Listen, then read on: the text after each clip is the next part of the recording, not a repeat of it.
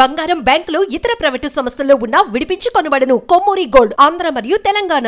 నమస్తే welcome to Manam TV. ప్రస్తుతం AP రాజకీయాల గురించి మనతో మాట్లాడడానికి సీనియర్ అనలిస్ట్ అప్పసాని రాజేష్ గారు మనతో ఉన్నారు. నమస్కారం సార్. నమస్తే sir AP beverages corporation MD ఎవరైతే ఉన్నారో నిన్న అరెస్ట్ అవ్వడం జరిగింది. సో అతను అప్రూవర్గా మారుతారు అంటూ కొన్ని వార్తలు అయితే బయటకు వస్తున్నాయి. సేమ్ యాజ్ ఢిల్లీ లిక్కర్ స్కామ్లో కూడా మనం చూసాం అప్రూవర్గా మారితే ఎంతమంది అరెస్ట్ అయ్యారో ఎంతమంది జైలుకి వెళ్ళారు ఇప్పటికీ కూడా కొంతమంది రాకుండా జరగడం జరిగింది. సో అట్లా గనక అరెస్ట్ అవుతూ ఉంటే ఇతను కానీ అప్రూవర్గా మారితే ఏపీలో ఇంకా ఎంతమంది అరెస్ట్ అయ్యే అవకాశం ఉంది? అది విజయసాయి రెడ్డి వరకు జగన్ వరకు వెళ్ళే అవకాశం అయితే ఉందంటారు సార్? ఇప్పుడు ఢిల్లీ మద్యం స్కామ్ గురించి మనం దాదాపుగా ఒక రెండు సంవత్సరాల నుంచి వింటూ ఉన్నాం. ఢిల్లీ ముఖ్యమంత్రి కేజ్రీవాల్ గారి దగ్గర నుంచి మొదలుపెట్టి ఉప ముఖ్యమంత్రి మనీష్ సిసోడియా గారు అయితే ఆల్మోస్ట్ రెండు సంవత్సరాలు దరిదాపులుగా జైలు జీవితం గడిపి మొన్న బెయిల్ మీద బయటకు రావడం జరిగింది. అరవింద్ కేజ్రీవాల్ గారు ప్రస్తుతం ఆయన ముఖ్యమంత్రిగా కొనసాగుతూ జైల్లోనే ఉన్నారు. చాలామంది సీనియర్ అధికారులు అట్లాగే ఆంధ్రప్రదేశ్ రాష్ట్రానికి సంబంధించి అరబిందో ఫార్మా ఇవాళ లక్షల కోట్ల ఖరీదు చేసే కంపెనీ చైర్మన్గా ఉన్న శరచంద్రారెడ్డి గారు ప్రస్తుతం ఒంగోలు ఎంపీగా ఉన్న మాగుంట శ్రీనివాసరెడ్డి గారి వాళ్ళ కొడుకు రాఘవరెడ్డి కేసీఆర్ గారి కుమార్తె కవిత గారు ఇలా ఎంతోమంది అక్కడ సుదీర్ఘకాలం జైలు జీవితం చూశారు చూస్తూ ఉన్నారు. అవును. అంటే మనం వాల్యూమ్ ఆఫ్ కరప్షన్ అంటే ఇవాళ ఒక రూపాయైన అవినీతే వెయ్యి రూపాయలైన అవినీతే లక్ష రూపాయలైన అవినీతే వెయ్యి కోట్లైన అవినీతే. ఓకే. అంటే పరిధి దాటి ప్రవర్తించి బిజినెస్ రూల్స్ని అతిక్రమించి రూల్ ఆఫ్ లాకి కట్టబడకుండా ప్రభుత్వాలు కొంతమంది వ్యక్తుల సంస్థలకి ఆయాచిత లబ్ధి చేకూర్చడం ద్వారా వాళ్ళ దగ్గర నుంచి కిక్ బ్యాక్స్ కింద డబ్బు తీసుకుంటే అది ఎంత మొత్తం తీసుకుని అవినీతి అవినీతి. ఒక స్థాయి అవినీతికి పాల్పడి ఢిల్లీలో అక్కడ రాజకీయంగా ఎటువంటి పరిస్థితులు పరిణామాలు మార్పు చెందుతూ ఉన్నాయనేది మనం చూస్తూ ఉన్నాం. అవును. డెబ్బై స్థానాలకి అరవై ఏడు స్థానాలతో అధికారం దక్కించుకున్న ఆమ్ ఆద్మీ పార్టీ రెండు వేల పంతొమ్మిది పార్లమెంట్ ఎన్నికల్లో గణనీయమైన సంఖ్యలో పార్లమెంట్ స్థానాలు దక్కించుకున్న ఆమ్ ఆద్మీ పార్టీ పంజాబ్ రాష్ట్రాన్ని కూడా దక్కించుకున్న ఆమ్ ఆద్మీ పార్టీ ఇవాళ ఒక సంక్షోభిత పరిస్థితిలో ఉందనేది వాస్తవం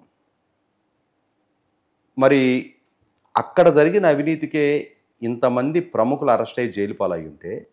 అది వంద కోట్లు అంతే అంటే ఆ మద్యం పాలసీ మార్పు చేయటం కోసం కేసీఆర్ గారి కుమార్తె కవిత గారి ద్వారా దక్షిణాదికి సంబంధించిన ముఖ్యంగా ఆంధ్రప్రదేశ్ తెలంగాణ ప్రాంతాలకు సంబంధించిన మద్యం వ్యాపారుల ద్వారా ఇవ్వబడిన ముడుపులు వంద కోట్లు.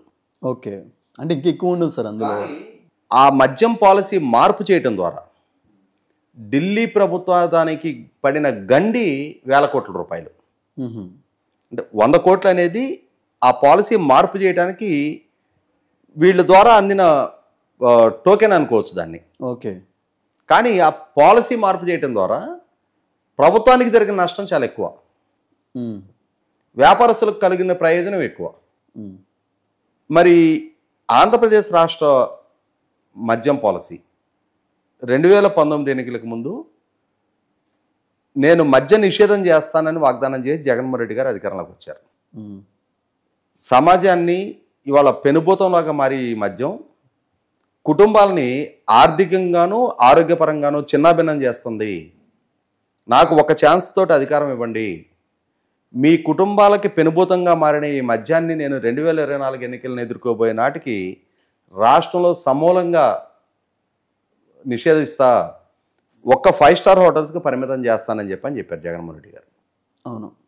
ఏ ఏ కుటుంబాలైతే ఈ మద్యం కారణంగా బాధితులుగా మారుతున్న కుటుంబాలు ఉన్నాయో ఆ కుటుంబాలకు సంబంధించిన మహిళలు జగన్మోహన్ రెడ్డి గారి మాటల పట్ల ఆకర్షితులయ్యారు. రెండు వేల పంతొమ్మిది ఎన్నికల్లో ఆయన గెలుపుకి కీలకంగా దోహదం చేశారు. సహజంగా కదా మనం దాంట్లో తప్పట్టాల్సింది కూడా ఏం లేదు. ఏ ఏ కుటుంబాలు అయితే ఈ మద్యం వ్యసనం వల్ల ఎఫెక్ట్ అవుతా ఉన్న కుటుంబాలు ఉంటాయో అంటే వాళ్ళు ఆ భర్తలో సంతానము అనల్దమ్ములో ఎవరైతే ఆ వ్యసనానికి బాధితులుగా మారి బానిసలుగా మారి వారి సంపాదన ఇంటికి తీసుకురాకుండా ఆర్థికంగా నష్టం అదే సందర్భంలో వాళ్ళకి ఆరోగ్యపరంగా కూడా నష్టం జరుగుతూ ఉన్నప్పుడు ఈ పీడ ఎప్పుడు విరగడవుతుందా ఎప్పుడు ఈ మద్యం నిషేధించే వాళ్ళు దొరుకుతారా అని చెప్పని ఆశగా ఎదురు చూస్తూ ఉంటారు. అటువంటి వాగ్దానం ఒక నాయకుడి నుంచి వచ్చింది అన్నప్పుడు అతను నమ్మటం తప్పు లేదు. అతను వెనక ర్యాలీ అయ్యి అతనికి ఓట్లేయడానికి కూడా తప్పట్టడానికి వీల్లేదు. అదే జగన్మోహన్ రెడ్డి గారికి కలిసి వచ్చింది కీలకంగా. మహిళలు ఆశించారు. ఇతను మాట తప్పని మడమ తిప్పని వంశస్థుడని చెప్పని వాళ్ళ సోషల్ మీడియా వాళ్ళ యువకర్తలు వాళ్ళ సొంత మీడియా ఆయనకి ఆ విధమైన ఎలివేషన్ ఇస్తూ ఉన్నారు. కాబట్టి ఇటువంటి నాయకుడిని మనం ఎంపిక చేసుకుంటే మన కుటుంబాల్లో ఉన్న ఈ చీడ వదిలిపోవటానికి ఆస్కారం ఉంటుంది కదా అని చెప్పని ఒక ఆశతోటి ఆయన వెనక ర్యాలీ అయ్యారు. కానీ అధికారం దక్కిన తర్వాత మాట నిలబెట్టుకోవటం అనేది నా జీవితంలో లేదు అని చెప్పని జగన్మోహన్ రెడ్డి గారు రుజువు చేశారు. ఏ నమ్మకంతో అయితే మహిళలు ఆయనకి అంతటి ఘన విజయం కట్టబెట్టారు నూట డెబ్బై ఐదు స్థానాలు ఉన్న సభలో నూట యాభై ఒక్క స్థానాలతో అధికారం కట్టబెట్టారు. ఇరవై ఐదు పార్లమెంటు స్థానాలకు ఇరవై రెండు స్థానాలు ఆయన కట్టబెట్టారు. కానీ ఒకసారి పదవి బాధ్యతలు చేపట్టిన తర్వాత జగన్మోహన్ రెడ్డి గారు రెండు వేల పంతొమ్మిది నవంబర్ నెలలో రెండు వేల పంతొమ్మిది మే ముప్పై తారీఖు ఆయన ముఖ్యమంత్రిగా పదవి బాధ్యతలు చేపట్టారు. సరే ఆ రోజు నుంచి మహిళలు ఆశగా ఎదురు చూస్తూ ఉన్నారు. ఈ క్యాబినెట్లో మద్య నిషేధం గురించిన డెసిషన్ తీసుకుంటారు నెక్స్ట్ క్యాబినెట్లో డెసిషన్ తీసుకుంటారని చెప్పని ఆశగా ఎదురు చూస్తుండగా రెండు వేల పంతొమ్మిది నవంబర్లో కొత్త మద్యం పాలసీ అనౌన్స్ చేస్తున్నా. ఇప్పటి వరకు ప్రైవేటు వ్యక్తుల చేతిలో ఉన్న రీటైల్ వ్యాపారాన్ని ఇక ప్రభుత్వ ఆధ్వర్యంలోకి తీసుకుంటా ఉన్నాం. మద్యం షాపుల సంఖ్య తగ్గిస్తూ ఉన్నాం. మద్యం షాపుల ఓపెనింగ్ క్లోజింగ్ టైం కూడా రెస్ట్రిక్టెడ్ టైంలో. అంటే ఇప్పటిలాగా ఇష్టం వచ్చినట్టు ఏ గల్లీలో అంటే ఆ గల్లీలో మద్యం దొరికే పరిస్థితి కాకుండా ప్రభుత్వ ఆధ్వర్యంలో ఉంటుంది. ఉదయం పది గంటల నుంచి సాయంత్రం ఎనిమిది గంటల వరకే షాప్ ఓపెన్ అయి ఉంటుంది. ఒక వ్యక్తికి మూడు బాటిల్స్ అమ్ముతాము. ఇట్లా రకరకాల ప్రతిపాదనలతోటి ఆయన కొంచెం చిత్తశుద్ధి కనపరిచినట్టుగా ప్రజల ముందు నటించాడు. ప్రజలు కూడా ఏం అనుకున్నారంటే అరే మొన్నటి వరకు మూడు వేల ఎనిమిది వందల షాపులు ఉండేవి ఇప్పుడు రెండు వేల తొమ్మిది వందల యాభైకి వచ్చేసినాయి. ఎనిమిది వందల యాభై షాపులు తగ్గించాడు ఒకేసారి ఆయన. కొంత దశల వారీగా మద్య నిషేధం చేస్తున్నట్టున్నాడు. ఈ సంవత్సరం ఎనిమిది వందల యాభై షాపులు తగ్గించాడు. నెక్స్ట్ ఇయర్కి ఇంకొక వెయ్యి షాపులు తగ్గిస్తాడేమో. అవైలబిలిటీ ఆఫ్ లిక్కర్ దాన్ని రెస్ట్రిక్ట్ చేస్తాడేమో. అని చెప్పని ఆశించారు కానీ పిచ్చోళ్ళరా మీ ఆశలు వమ్ము చేయడానికే నన్ను మీరు ఎన్నుకున్నారు అని చెప్పని. ఆ ప్రభుత్వ ఆధ్వర్యంలోకి మద్యం అమ్మకాలు తీసుకొచ్చిన తర్వాత ఆయన చేసిన కొన్ని కొన్ని ప్రయోగాలు ఏంటి అంటే అప్పటి వరకు మార్కెట్లో అందుబాటులో ఉన్న దశాబ్దాల తరబడి వినియోగదారులకి అలవాటై ఉన్న దేశవ్యాప్తంగా దొరికే ఎస్టాబ్లిష్డ్ బ్రాండ్స్ వాటి మొత్తాన్ని రద్దు చేశాడు. అవి ప్రభుత్వ షాపుల్లో అవి దొరకవు. ఏం దొరుకుతాయి? కొత్త కొత్త బ్రాండ్లు. అది ఒక ఆంధ్రప్రదేశ్ రాష్ట్రంలోనే దొరికే బ్రాండ్లు. మరి ఆ బ్రాండ్ల తయారీదారులు ఎవరు? ఆ బ్రాండ్లని వాటి క్వాలిటీ నిర్ధారించింది ఎవరు? బ్రోరజెస్ కార్పొరేషన్కి వాటిని రికమెండ్ చేసి వాటిని కొనుగోలు చేయించుతున్నది ఎవరు? అవి మాత్రమే ఎందుకు దొరుకుతూ ఉన్నాయి అనేది ప్రజలు ఆలోచించుకునే లేపే పుణ్యకాలం గడిపేశారు ఐదేళ్ళు. జగన్మోహన్ రెడ్డి గారి పార్టీ జగన్మోహన్ రెడ్డి గారి నాయకులు వాళ్ళ అనుయాయులు వాళ్ళ మంత్రివర్గ సహచరులు వాళ్ళు రాష్ట్రంలో ఉన్న డిస్టిలరీస్ మొత్తాన్ని గుప్పెట పట్టుకున్నారు. ఆ గుప్పెట పట్టుకొని మొత్తం మద్యం వ్యాపారాన్ని తయారీదారులు వాళ్ళే ప్రభుత్వం బ్రోవరేజెస్ కార్పొరేషన్ ద్వారా కొనుగోలు చేస్తుంది ప్రభుత్వమే ప్రభుత్వ మద్యం దుకాణాల ద్వారా అమ్ముద్ది. అంటే మ్యానుఫ్యాక్చరింగు డిస్ట్రిబ్యూషను అమ్మకం అంతా ప్రభుత్వం ద్వారానే. ఈ లావాదేవీ మొత్తాన్ని నిర్వహించడం కోసం జగన్మోహన్ రెడ్డి గారికి లాయల్గా ఉండే ఒక వ్యక్తి కావాలి. వాసుదేవరెడ్డి దానికోసం అని చెప్పని ఐఆర్ఎస్ అధికారిగా ఉన్న వాసుదేవ్ రెడ్డిని అతను తీసుకొచ్చి అతనికి బ్రోరజెస్ కార్పొరేషన్ ఎండీగా బాధ్యతలు అప్పచెప్పారు. నువ్వే నిర్ధారణ చేయి ఏ డిస్టరీస్ నుంచి ఏ ఏ బ్రాండ్లు బ్రోరజెస్ కార్పొరేషన్ ద్వారా కొనుగోలు చేయాలి అనేది. నువ్వే షాపులకి సప్లై చేయించు నీ ద్వారానే అమ్మకాలు జరిపించు. ఎక్కడ ట్రాన్స్పరెన్సీ అనేది ఉండడానికి వీల్లేదు. ట్రాన్స్పరెన్సీ ఉండకూడదంటే ఏం చేయాలి? No question of digital transactions. Okay. Only cash ట్రాన్సాక్షన్సే నడవాలి. ఓన్లీ క్యాష్ ట్రాన్సాక్షన్స్ అనుకో. పది రూపాయలు అమ్మేవో వంద రూపాయలు అమ్మేవో అకౌంటబిలిటీ ఏముంది అక్కడ? అదే డిజిటల్ ట్రాన్సాక్షన్స్ జరిగితే ఇవాళ ఎంత అమ్మకం జరిగింది అనేది అకౌంట్ ఫర్ అవుద్ది. అవును. కాబట్టి నో డిజిటల్ ట్రాన్సాక్షన్స్ ఐదు సంవత్సరాల కాలంలో లక్షా ఇరవై ఎనిమిది కోట్ల రూపాయల అమ్మకాలు జరిగితే అందులో కేవలం ఆరు వందల తొంభై రెండు కోట్ల రూపాయలు అంటే point zero six nine percent. అంత మాత్రమే క్యా డిజిటల్ ట్రాన్సాక్షన్స్ జరిగినాయి మిగిలింది మొత్తం తొంభై తొమ్మిది వేల మూడు వందల నలభై రెండు కోట్ల రూపాయలు. మూడు వందల ముప్పై నాలుగు కోట్ల రూపాయలు క్యాష్ ట్రాన్సాక్షన్ క్యా- క్యాష్ ట్రాన్సాక్షన్స్ జరిగినాయి. కాబట్టి ఏ విధమైన పారదర్శకత లేదు. ఇంకొకటి ప్రభుత్వంలో కీలక స్థానాల్లో ఉన్నాళ్ళు ప్రభుత్వానికి సప్లైదారులుగా ఉండటానికి వీల్లేదు. ఓకే. ఇవాళ ఒక మండలంలో కాంట్రాక్టర్గా రిజిస్టర్ అయ్యి ఉండి రా రాబోయే స్థానిక సంస్థల ఎన్నికల్లో ఆ మండలంలో ఎంపీటీసీగానే కంటెస్ట్ చేయడానికి వీల్లేదు. అంటే నువ్వు ఆల్రెడీ ఆ మండలంలో రిజిస్టర్డ్ కాంట్రాక్టర్. అంటే నువ్వు అక్కడ ఆ మండలంలో లబ్ధిదారుడివి. లబ్ధిదారుడిగా ఉండి అంటే ఆ మండలానికి వెండరా సర్వీస్ ప్రొవైడరు కాంట్రాక్టర్గా రిజిస్టర్ అయి ఉన్నావు. నువ్వు ఎంపీటీసీగానే కంటెస్ట్ చేయడానికి వీల్లేదు.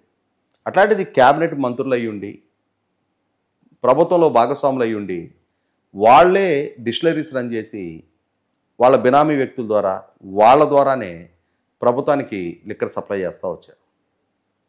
జగన్మోహన్ రెడ్డి గారు ఆయన పదవి బాధ్యతలు చేపట్టినప్పుడు ఏం చెప్పాడు? వంద కోట్లు పైబడిన ప్రతి టెండర్ని జ్యుడిషియల్ రివ్యూ కమిటీకి పంపించి వాళ్ళు నిర్ధారణ చేసిన తర్వాత నేను ఆ టెండర్ని ఆమోదిస్తా అని చెప్పని చెప్పాడు.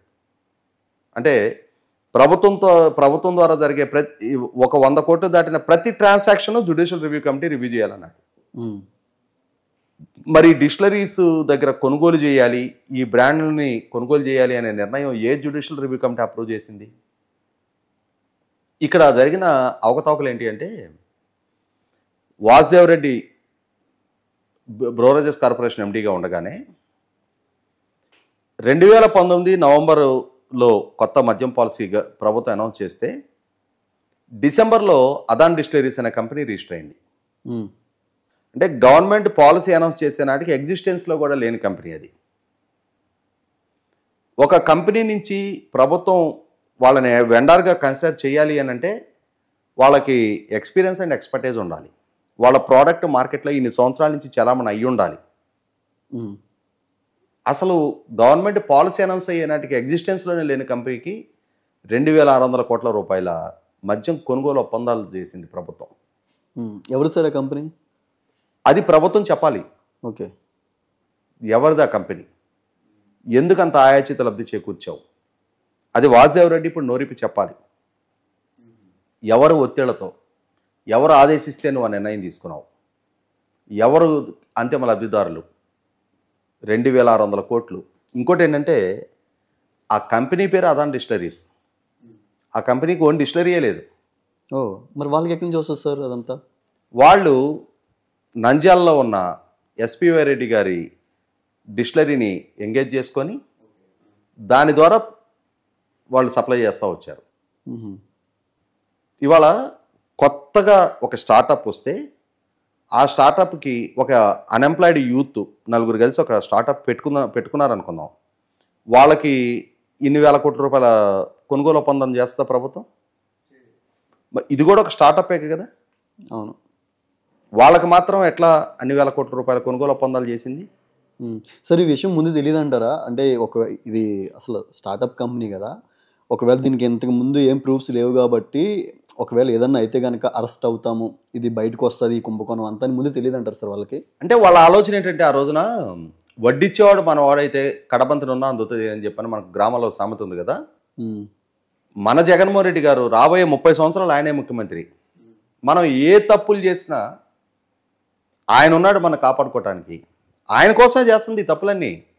ఇక్కడ వాసుదేవ్ రెడ్డి అనే వ్యక్తి మనం స్క్రీన్ మీద తోలుబొమ్మలాట చూస్తున్నప్పుడు మన ముందు కనిపించే పాత్రధారి అతను అంతే. ఆ వెనక స్ట్రింగ్స్ ఆపరేట్ చేసేది జగన్మోహన్ రెడ్డి గారు.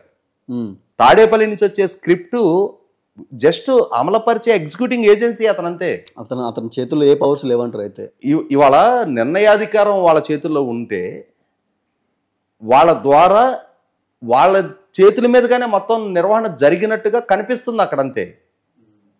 ఇన్ని వేల కోట్ల రూపాయల లావాదేవీలకు సంబంధించిన లాభం జగన్మోహన్ రెడ్డి గారికి ఎక్సైజ్ మినిస్టర్లకి చీఫ్ సెక్రటరీకి డీజీపీకి వీళ్ళకి ఎవరికి తెలియకుండా ఒక బ్రోరజెస్ కార్పొరేషన్ ఎండిఏ తినేసేస్తాడా? తిన్నిస్తారా అసలు? సాధ్యమేనా? లేదు. కాబట్టి ఇక్కడ అస్సల సిసల సూత్రధారులు తాడేపల్లి జగన్మోహన్ రెడ్డి గారి నివాసంలో ఉన్నారు. సార్ మీరు చెప్తున్న ఈ లెక్కబడి చూస్తే అబ్బే చే ఇంకా ఏం చెప్పలా నేను? అసలు చెప్పాల్సింది చాలా ఉంది. ఎందుకంటే మనం ఢిల్లీ మద్యం పాలసీ గురించి మాట్లాడుకుంటున్నది చాలా చిన్న మొత్తం. ఇవాళ ఆంధ్రప్రదేశ్ రాష్ట్రంలో జరిగింది. రీసెంట్గా ఎన్డీఏ కూటమి ప్రభుత్వం అధికారంలోకి వచ్చిన తర్వాత అసెంబ్లీలో చంద్రబాబు నాయుడు గారి ద్వారా శ్వేతపత్రం విడుదల చేశారు. దాంట్లో తేడతలమైంది ఏంటి ఆరు వందల యాభై నాలుగు ప్రభుత్వ మద్యం మద్యం షాపుల్లో డిస్టిలరీస్ నుంచి డైరెక్ట్గా షాపులకు సప్లై చేశారు. బ్రోరేజెస్ కార్పొరేషన్ కాదు. మరి? అంటే బ్రోరేజెస్ కార్పొరేషన్కి సప్లై చేస్తే బ్రోరేజెస్ కార్పొరేషను సిక్స్టీన్ పర్సెంట్ రేటుకు కొని దాని మీద eighty four eighty four percent tax add చేసి షాపుల్లో అమ్ముతుంది. అంటే ఈ ఎయిటీ ఫోర్ పర్సెంట్ ప్రభుత్వానికి ఆదాయం రూపంలో వస్తుంది. రిమైనింగ్ అంతా అంటే సిక్స్టీన్ పర్సెంట్ బ్రోరేజెస్ కార్పొరేషన్కి వెళ్తుంది.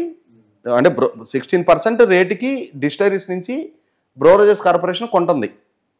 దాని మీద ఎయిటీ ఫోర్ పర్సెంట్ ట్యాక్సెస్ పడతాయి. ఆ ట్యాక్సెస్ ప్రభుత్వానికి వస్తాయి ఆదాయం. ఉమ్, ఇక్కడ ఏం చేశారు వీళ్ళు? బ్రోరేజెస్ కార్పొరేషన్కి వెళ్ళటం ఎందుకు?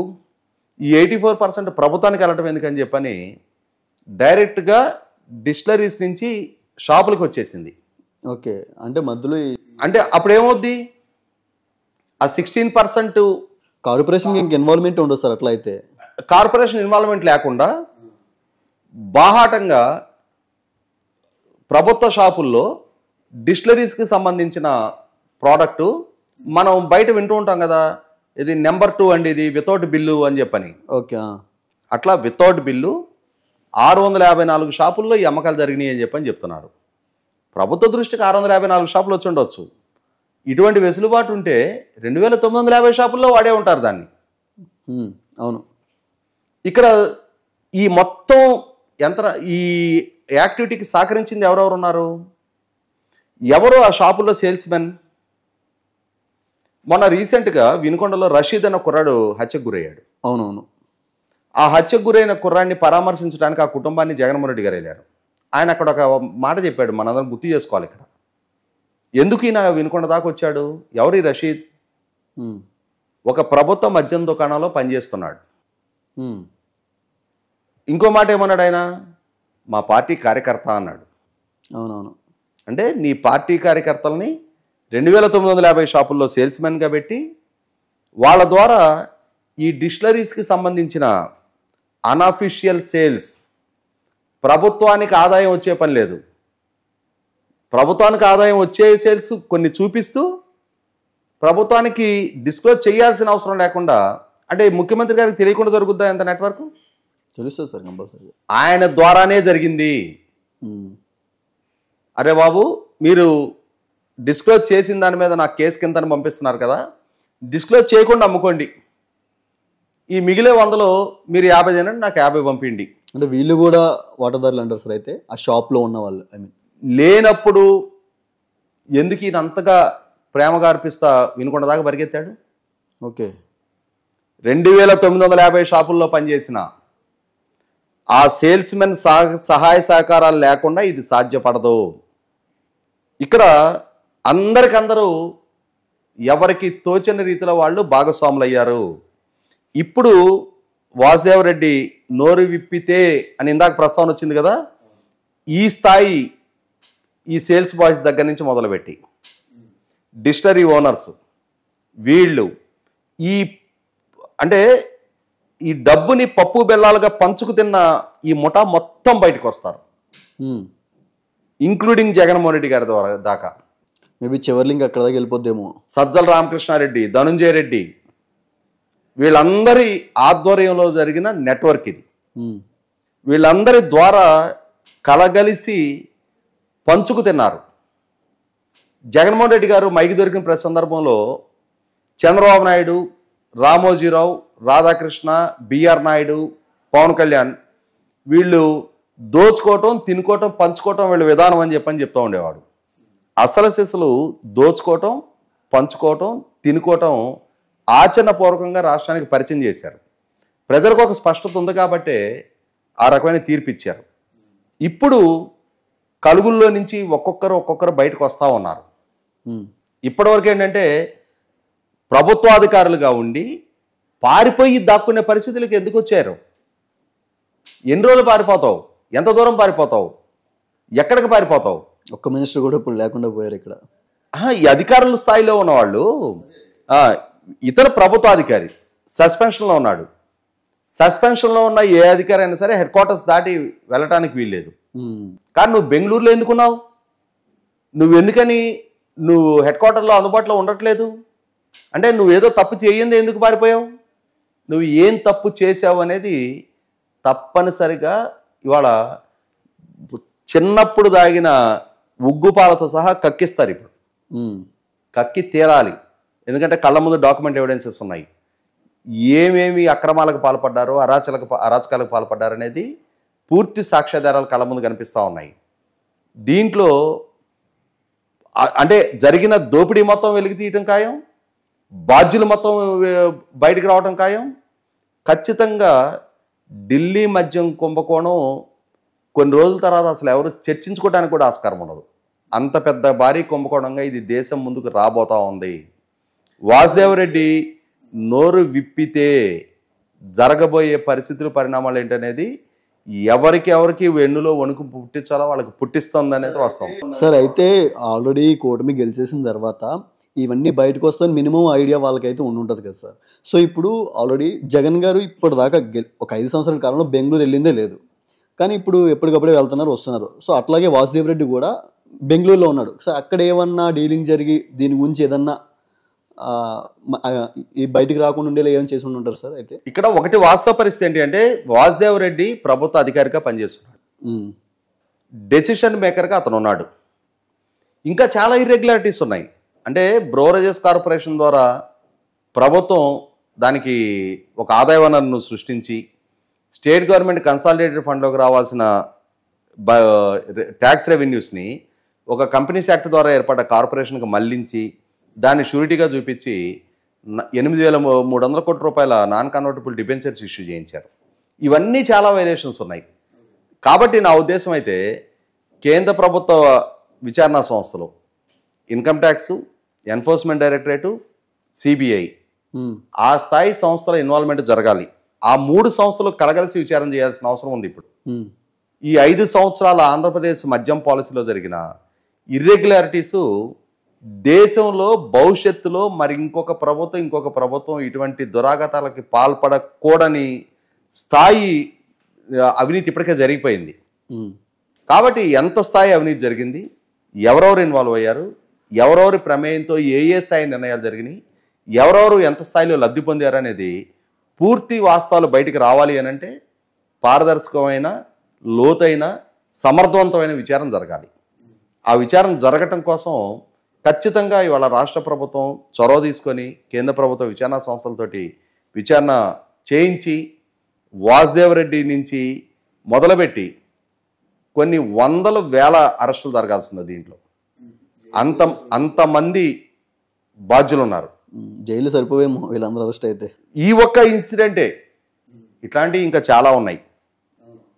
కాబట్టి మనకి ఎప్పుడో ఫ్రీడమ్ ఫైటర్స్ని పెట్టడం కోసం అండమాన్ నికోబార్ దీవుల్లో జైలు పెట్టేవాళ్ళు అన్నారు. అటువంటి జైళ్ళని నిర్మాణం చేయాల్సి వస్తే వాళ్ళ కోసం. కొత్త కట్టాల్సి ఉంటుందేమో కూటమి ప్రభుత్వం. Okay sir thank you sir. ఏం జరగబోతుందో చూద్దాం. Thank you sir thank you so much